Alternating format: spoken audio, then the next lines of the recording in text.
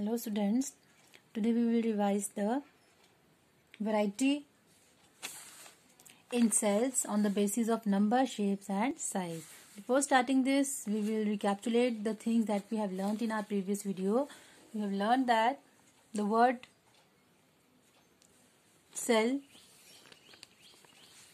it is a Latin word which means small rooms and in 1665 Robert Hooke used a microscope to examine a thin slice of cork and he examined hexagonal shaped structure and he called each structure or each compartment as a cell. Robert Hooke is also known as father, father of cytology. Study of a cell is called the cytology. He discovered the dead cells and Antony van Leeuwenhoek discovered the cell in living organism in 1675 and he is known as the father of microbiology. Study of the microorganism is called the microbiology. Today we will discuss the variety in cells, unicellular and multicellular organism. Living organism are made up of one or many cells.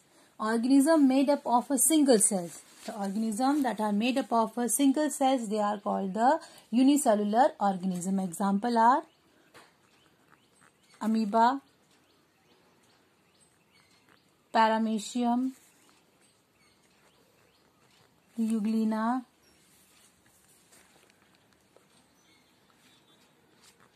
bacteria and yeast. These are the unicellular example. Unicellular uh, organisms they have only one cell.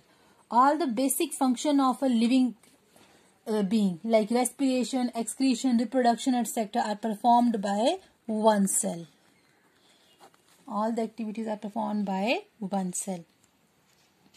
Organism made up of many cells are called the multicell. Multi means many so the organisms that are made up of many cells are called multicellular organism. Most of the plants and animals that we see around us are multicellular organism.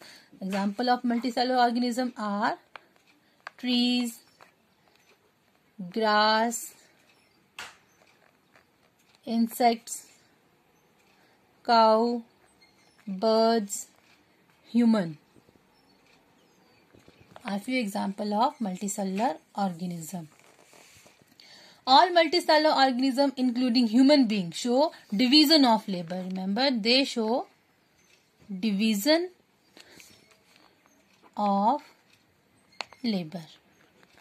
It means that different parts of a multicellular organism perform different function. For example, human if we take the example of human body, we have stomach to digest food. Division of labor, uh, stomach, heart to pump the blood. Stomach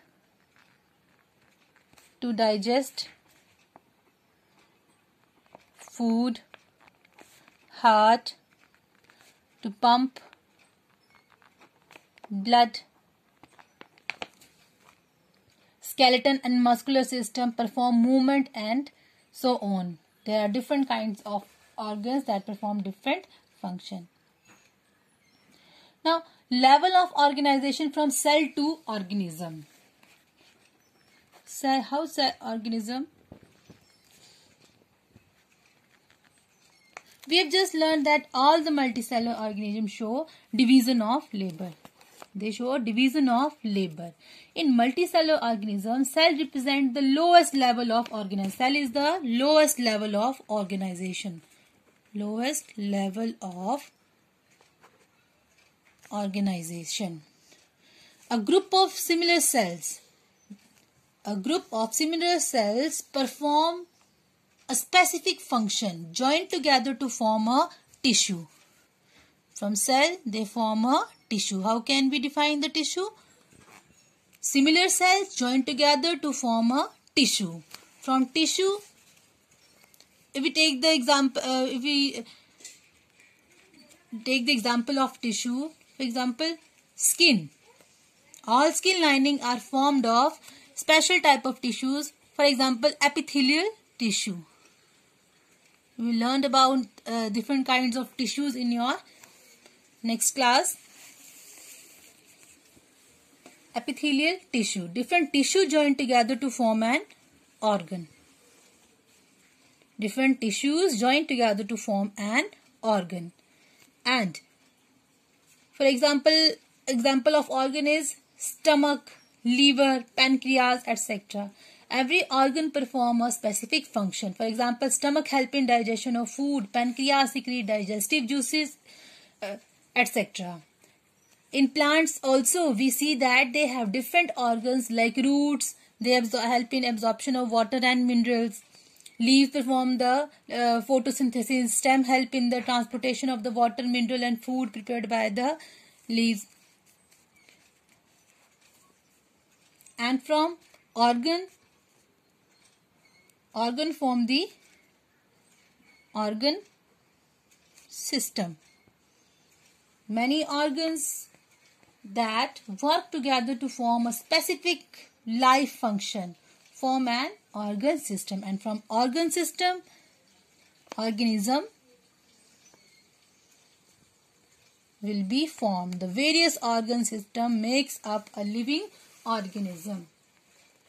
The various organ system makes up the living organisms. Now on the basis of shape and size different organisms have cell of different kinds. The shape and size of the cell are also related to specific function performed by organism and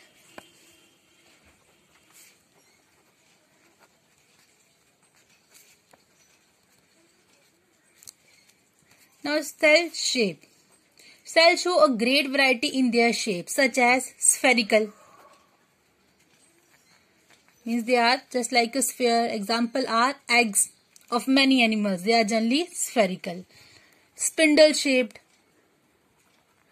Spindle shaped uh, uh, the example of uh, spindle shaped cell are smooth muscle cells. Smooth muscle fibers. Elongated. These are elongated or branched. These are nerve cells oval shaped. They are RBC, red blood cells. And there are so many types of cells present in our body on the basis of shape and size. Some cells may not have definite shape. Some cells may not have definite shape that is they have changing their shape. For example, you have uh, learned about the amoeba. It is a unicellular organism and it has an irregular shape. And along with amoeba, WBC or white blood cells, they are also irregular in shape. They do not have a specific shape. Cell size. On the basis of cell, uh, uh, cell size, the cell and their organelles are measured by fraction of millimeters. Millimeters. One thousandth of a millimeter is called a micron or micrometer. One thousandth of, or you can also say that one micron or micrometer. It is also called micrometer is equal to 10 raised to the power minus 3 milli meter. Most of the cell are microscopic in size. We know that cell is generally microscopic and are not visible to the naked eye. They need to be enlarged or magnified by a microscope.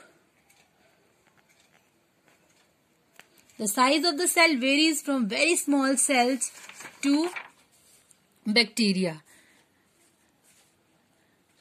or to the very large cell. Example of the uh, largest uh, cell is egg of the ostrich. In our, uh, in our body rbcs is the smallest and nerve cell are the longest cell. Remember nerve cells are the longest cell in our body. The algae acetabularia it is a unicellular organism consists of a single cell having a length of 10 millimeter aceta Blaria. It is a algae. Now we will discuss the parts of the cell. Each cell differ from their shape and sizes. All cells, however, show some similarities in their structure. A typical cell consists of three parts. It is cell membrane, cytoplasm and nucleus.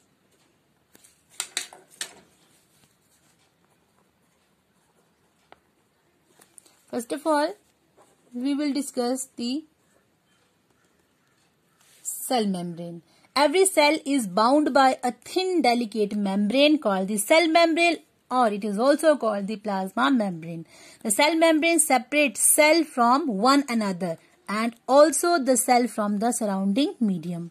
Now what are the function of the cell membrane or plasma membrane? It is a porous membrane means it contains small pores and it allows the entry and exit of only selected substances. It also prevents the movement of some other substances across it. Thus, it is also called selectively permeable membrane. It provides an outer boundary to the cell and protect the cell from injury. The second typical structure of the cell is cytoplasm. Cytoplasm is a thick jelly-like substance or fluid in the cell membrane. Thick jelly-like fluid inside the cell membrane. It occupies the space between the it, it occupies the space between the cell membrane and the nucleus. The fluid present inside the cell membrane and nucleus it is called the cytoplasm. These are there are many small cytoplasmic bodies. These are cell organelles. They are also present inside the cytoplasm that we will discuss in later later on.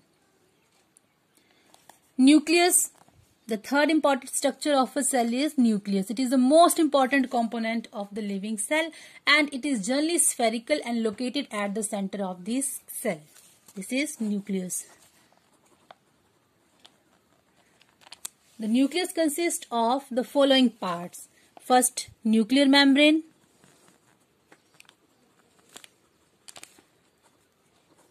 Nucleoplasm. nucleolus and fourth one is chromosomes. First of all, we will discuss the nuclear membrane. Nucleus is separated from cytoplasm by a membrane called the nuclear membrane. You can see it here. This is the nuclear membrane. This membrane is also porous just like a plasma membrane and it also allows the entry and exit of certain selected material between the cytoplasm and inside the nucleus. The second Uh, is nucleoplasm. It is a dense fluid in the nucleus. The dense fluid present inside the nucleus is called the nucleoplasm. Remember, cytoplasm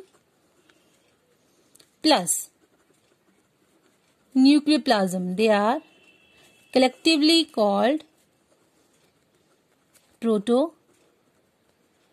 plasm. And third one is nucleolus. It is a small spherical body present inside the nucleus. Small spherical body present inside the nucleus is called nucleolus and it is rich in RNA. It is rich in RNA. RNA is ribonucleic acid. And the fourth one is chromosome. The chromatin material is the thin-like structure which is present uh, thread-like structure and it is composed of DNA and this contains genes. Genes are responsible for passing genetic characters from parents to the offspring. For example, uh, if a person has brown eyes, his son or daughter may also have brown eyes. If a woman has curly hair, her son or daughter may also have curly hair. However, the different combination of genes from the parents result in different characteristics. So in our next video, we will discuss the prokaryote, eukaryotes and comparison of plant and animal cells. Thank you.